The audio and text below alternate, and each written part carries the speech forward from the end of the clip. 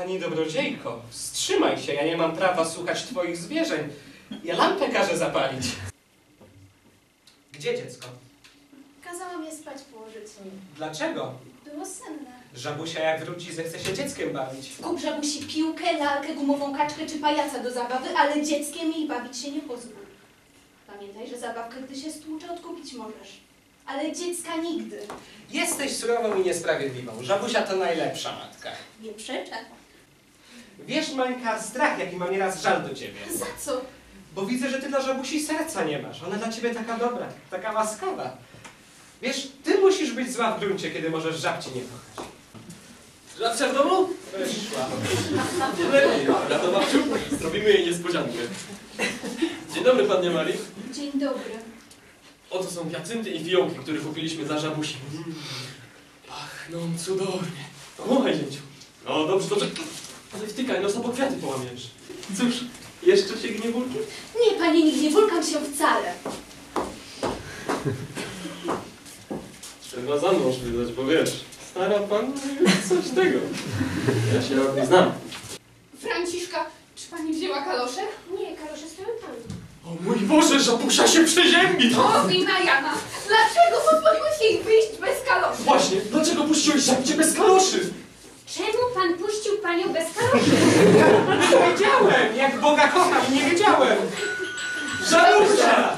Moje złote srebrne ukochane, z tysiąca wybrane. Dziadzia też kochany i babcia też. No a rak to już taki ulubiony, że na całym świecie nie ma więcej kochanego raka. Przedstaw sobie, ciągle mi daje do poznania, że się czegoś domyśla i że ja jestem niegodziwą kobietą. To mnie oburza. Przecież nigdy nie jest za zarzutem. Nie postępuję tak jak inne kobiety. Nie kocham się w przyjaciołach mojego męża, tylko zawsze w kimś, kogo rak nie zna. W ten sposób nie narażam na śmiertelność raka. To jest przecież mój mąż. Nie powinien tracić na powadze. Jakże więc taki sensat mógł się zakochać w takiej jak ty kobiecie? Właśnie. I w tym cały szyk. Kiedy go zobaczyłam po raz pierwszy w botanicznym ogrodzie na ławce zamyślonego, mówię sobie, projekt na samobójcę. A że masz dobre serce. A że mam dobre serce. Dotąd kręciłaś się koło niego z aż wyrwałaś tę ofiarę szponą śmierci. A tak, Dlaczego nie poszłaś do żabusi? Towarzystwo małej Jadzie jest mi przyjemniejsze. Jadzia nawet mówić nie umie. Właśnie dlatego. proszę do salonu. A, salon. Tak. Siadaj.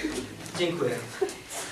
Tu jest pokój Jadwini, a tu pokój Raka, a tu jest jadalnia, a tam kuchnia, a, a tu jest balkon. A na górze strycha, na dole piwnica. Proszę nie być. Wyobraźcie sobie, że tego pana na nasz balkon wypchnęła Maniewiczowa. Dlaczego? Dlaczego? To... A, Jak Boga a to biedny Maniewicz. Jezus Maria! Jezus Maria! No nie, co ci się stało? To twój kochanek, nie tamtej, nie tamtej! Jak ci nikczemna! Zabiłaś mnie! Posłuchaj, to jest 40 groszy tam i 40 groszy z powrotem na dorożkę. Dobrze, proszę pani. Panience się kłania i nie siedźcie za długo. Wracajcie przed wieczorem. Rozumiem, proszę pani. A z dorożki nie wyleci. Pilnuj jadzie, żeby nie wyleciała. Dobrze, proszę pani.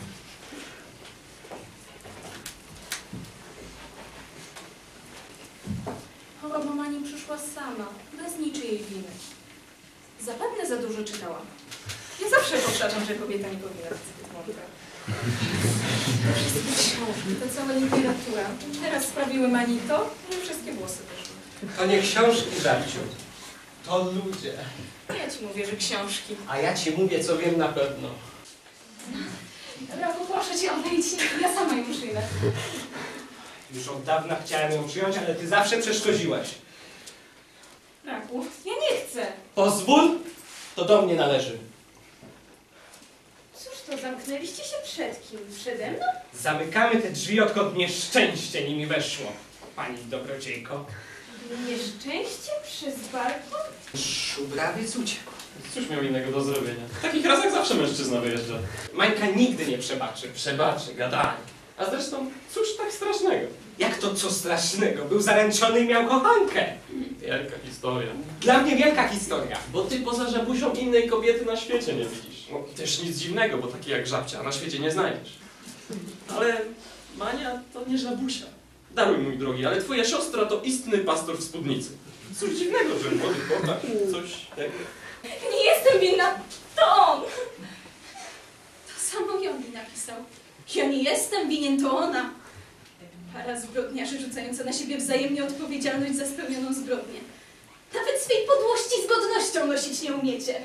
Żabciu, żabciu, cóż tobie? A tu mówisz takie herezje, że aż mi tchu brakuje. Jak ciebie słyszę. Mańka, co jej się stało? Tacy byliśmy szczęśliwi! Nie mogliście dłużej żyć w wiecznym kłamstwie i wzajemnym oszukiwaniu się. Kiedy nam z tym dobrze było! A teraz co? Pogorzelisko! Idź precz! Idź precz, nie znam cię! Muszę cię nie znać! Aj, ty, ty pieszczotko. Ty zawsze myślisz, czym mężowi radość sprawi. Kiedy u nas tak wesoło.